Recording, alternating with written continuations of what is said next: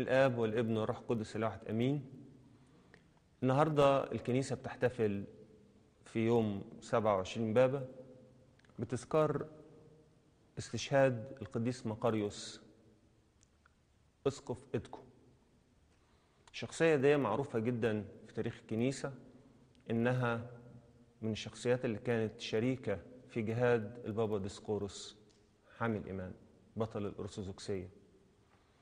ولما نقول البابا ديسقورس بطل الأرثوذكسية يبقى إحنا كده بنشير إلى الإيمان الأرثوذكسي اللي حفظه البابا ديسقورس اللي تسلمه من البابا أثناسيوس في البابا كورولوس علشان يوصل لينا لحد دلوقتي. في الحقيقة الملحوظة اللي إحنا لازم نبقى فاهمينها كويس قوي ان البابا ديسقورس هو وأساقفة الإسكندرية اللي منهم القديس مقاريوس أسقف إدكو تعرضوا في مجمع خلق دنيا لضغوط شديدة عشان يتنازلوا عن بعض التعبيرات البسيطة.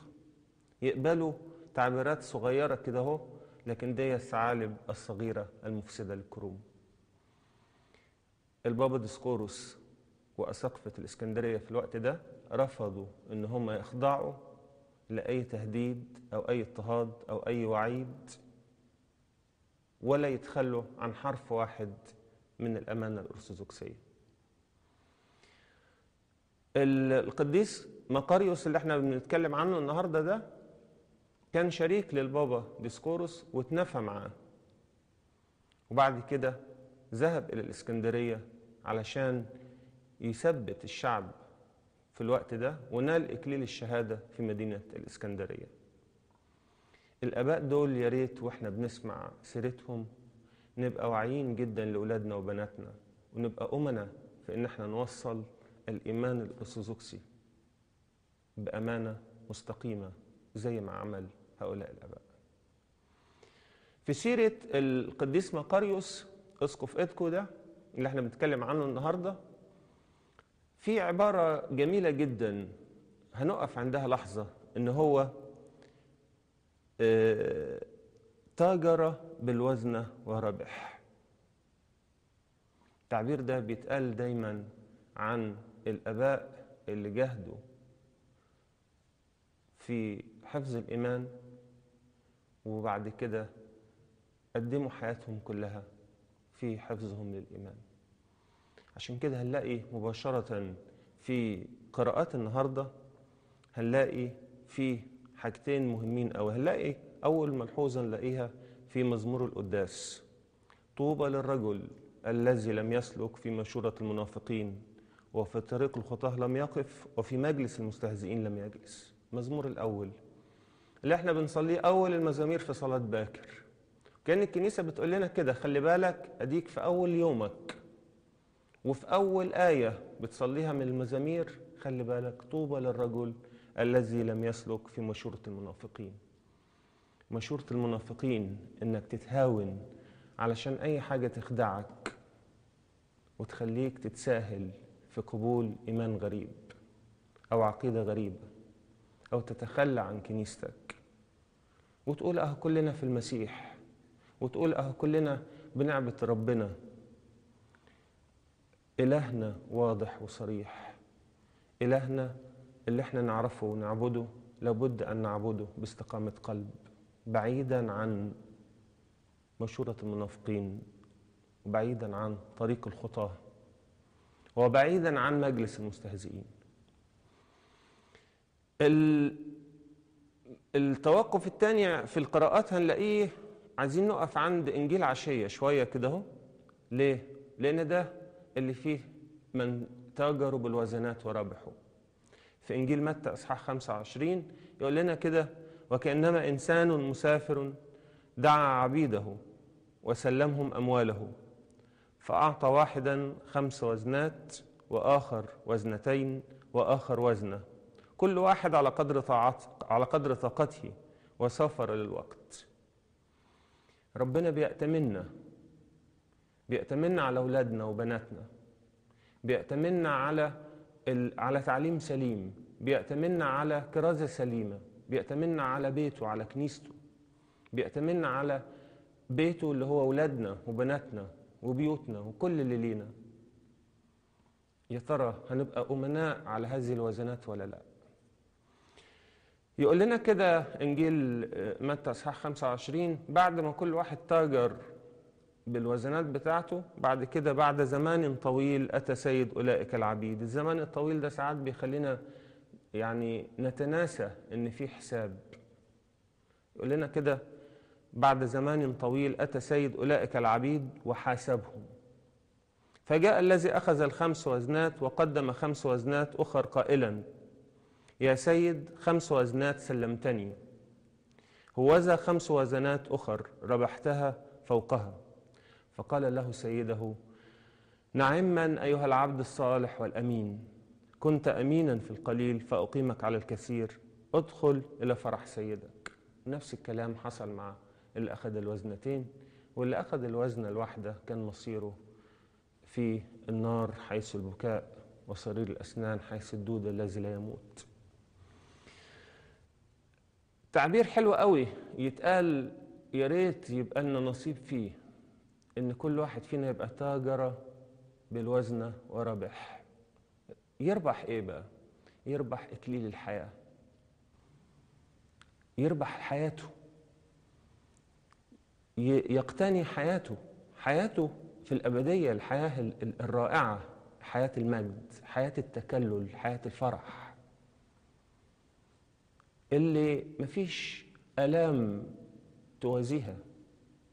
وزي ما قال بولس الرسول إن آلام هذا الزمان الحاضر لا تقاس بالمجد العتيد أن يستعلن فينا.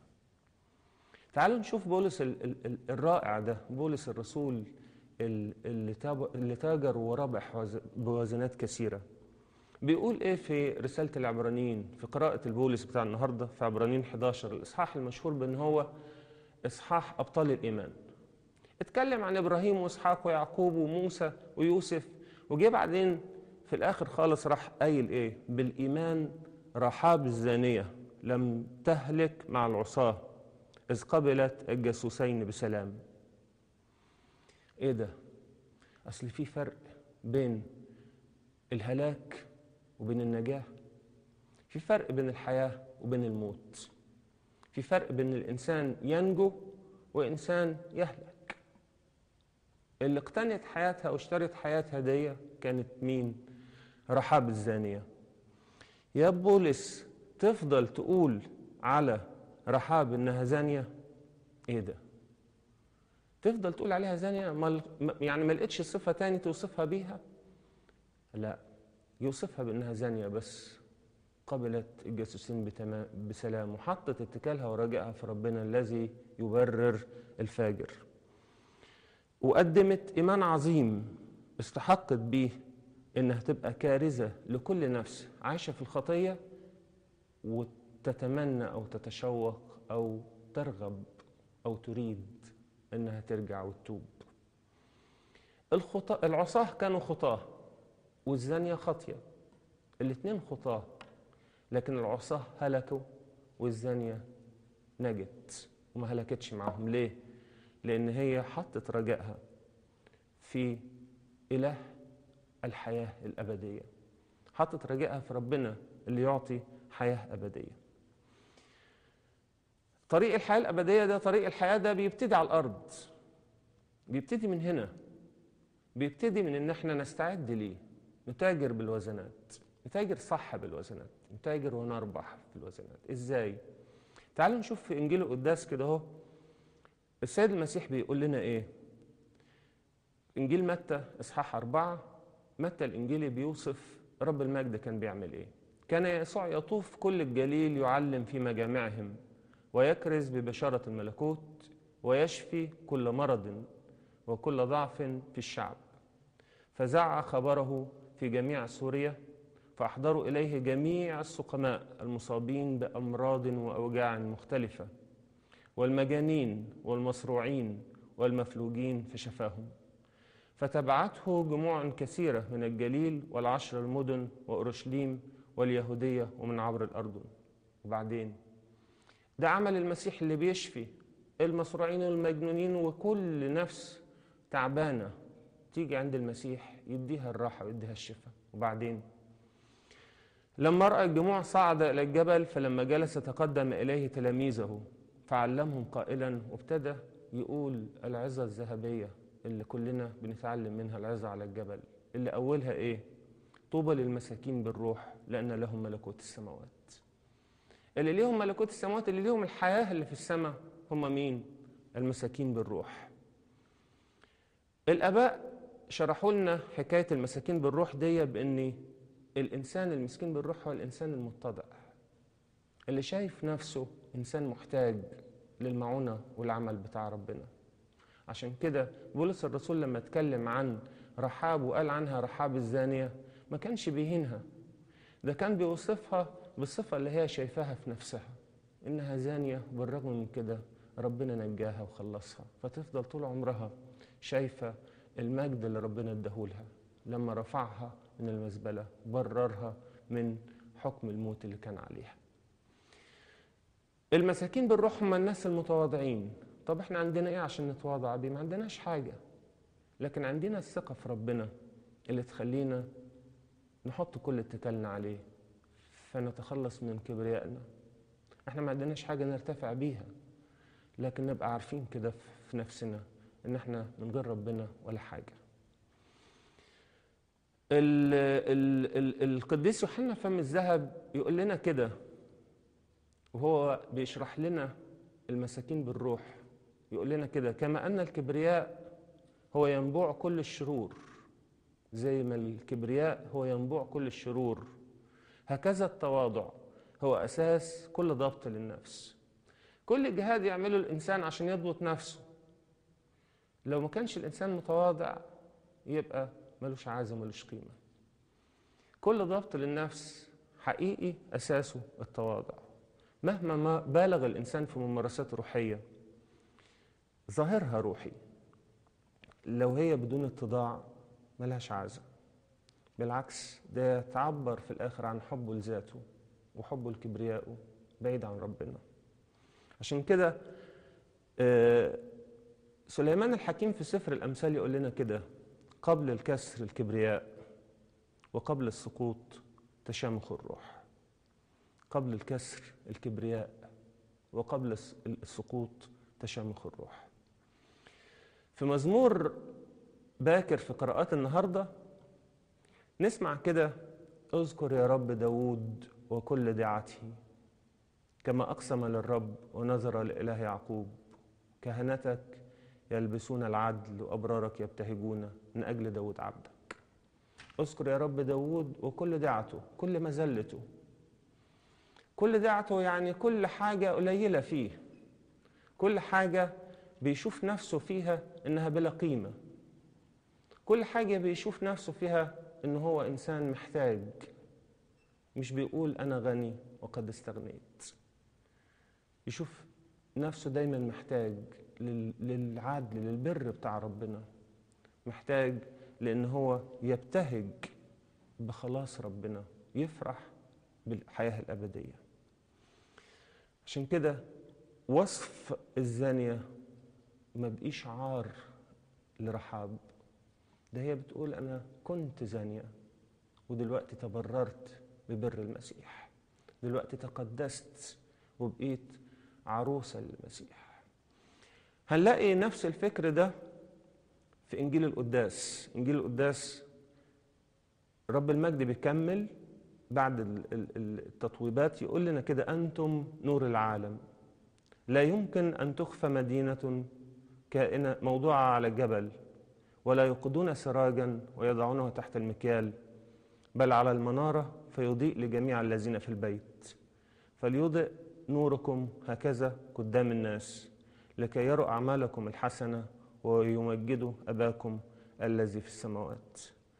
مهما كان الإنسان شايف نفسه في الخطية بمعونة ربنا ونعمة ربنا يقدر يقوم يقدر يتقوى يقدر يتشدد. واللي كان كله ضلمة ده يبقى نور للعالم. منين نور للعالم؟ بنور المسيح.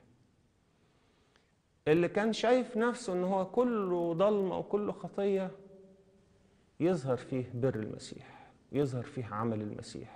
فيتحول هذا الإنسان لكارز مش بذاته ولا بنفسه ولا بقوته لكن بعمل الله اللي بيقدمه من خلاله. يتمجد فينا كلنا اسم ربنا. لما نبقى بنتاجر بالوزن ونربح زي القديس مقاريوس اسقف اتكو. لما نحافظ على إيماننا ونحط كل رجائنا في إلهنا اللي يرفعنا ويسندنا ويبررنا يطهرنا ويقدسنا ويحفظنا في اسمه علشان يدينا إكليل الحياة الدائم اللي نفرح فيه نفرح بيه مع كل ولاده وكل قديسيه. له المجد في كنيسته من الآن وإلى الأبد آمين.